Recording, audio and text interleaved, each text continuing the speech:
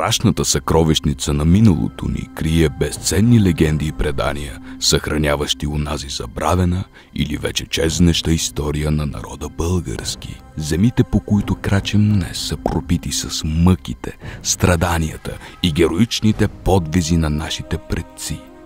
Техните дела са обековечени в хиляди митични истории, които ние сме длъжни да съхраним. В този епизод на поредицата ще ви разкрием една от тези истории. Тя идва от град Тополовград, намиращ се в красивите склонове на Сакар планина.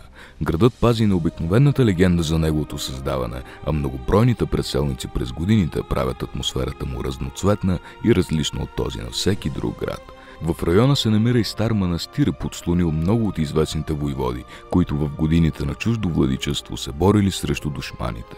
Днес легендите за Тополовград оживяват пред очите на всички ни. Добре дошли в Сакар Поена и в Тополовград. Намирате се в е, истори... Общинския исторически музей в града. Аз съм Веселин Калвачев, уредник на музея. Сега първо, това е един много интересен район на България, с много красоти, с много история, легенди и митови, които се носят от уста на уста, от поколение на поколение и се предават на, от големи на млади.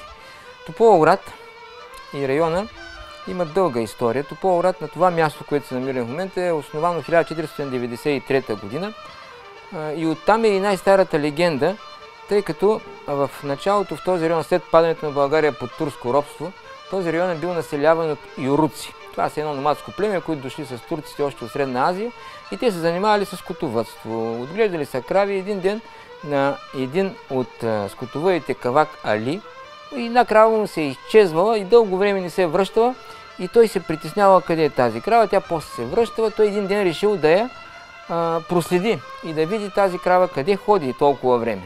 Проследил е той и намерил едно чудно място с два големи извора и много тополи около тях. И си казал, леле, това животно какво чудно място е намерило, защо пък и ние да не се пренесем тук да живеем. И постепенно а, те принесли своя стан в, на това място и дали първото име на селището Кавак Ли. Кавак Ли и оттам, а, тъй като на турски тополата има думата, се носи думата Кавак и оттам идва името на селището. След това селището се разраства, даже през 18-19 век, т.е. с население на над 10 000 жители. Тополград е уникален град с няколко неща. В началото на 20 век това е, е най-района, където има на най-много гърци в България. Тези гърци са много интересни, защото те носят, имат гръцко самосъзнание, но носят български имена, играят български хора, български им са носиите. Никъде в Гърция няма сукмани, а нашите каваклиоти носят сукмани в Гърция. И, например, в Лариса, и това е в Тесалия, има си един, те си правят събор, както тук Света Троица, за който спомене по-нататък. И, и, например, когато излядат каваклиотите да играят, те играят пайдушко. Трес форест, трите пъти. Право тракийско хоро и може човек да настръхне в центъра на Тесалия, се пази българщината ревностно, но това е корена, корена е от тук. След като гърците се селват след Първата столна война 1922-23 година, тяхно място идват пък бижанци. Тополград е най-бижанския град на България с, насе, а, с бежанци от Източна Тракия, Западна Тракия и Гейска Македония. От 102 селища, от тези три области, български области, има население. Представете ли си каква чудна смесица на носии, храна, обичаи, нрави. А, значи то до 50-60 години македонци и тракийци не са женили. Между източно тракийци и западно тракийци не са женили. И такива затворени общества. Много интересна палитра.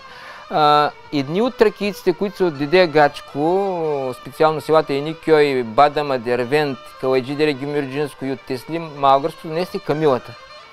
Камилите тук са извършвали, като да кажем тези сега тировите, които носят товари, те са били точно такъв а, транспорт за югоизточна България. Те са привозвали стоки навсякъде.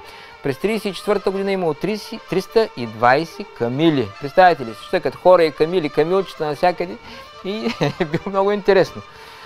Това са три уникални неща за Тополград, което никъде го няма из България. Друго интересно култово място в района, това е манастира Света Троица.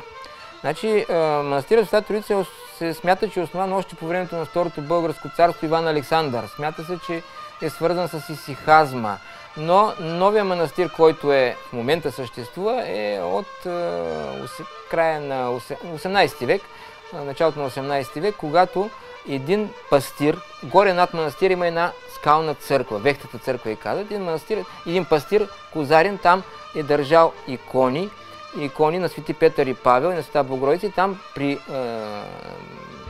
важни празници хората са ходили, водата, която се стича от е, скалите, се смятала за целебна и там са приспивали. Но на, на, този пастир, Козарина му се е присънил е, сън, че свети Петър му дава ключ, за да направи манастир долу в ниското.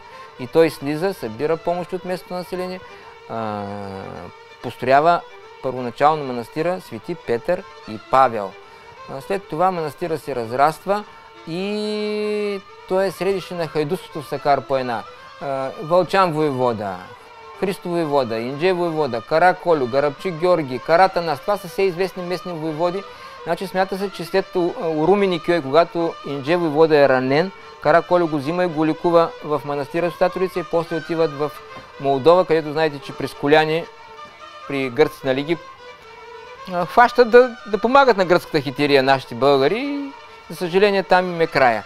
А, това е едно култово място с много тайственост, много легенди все още.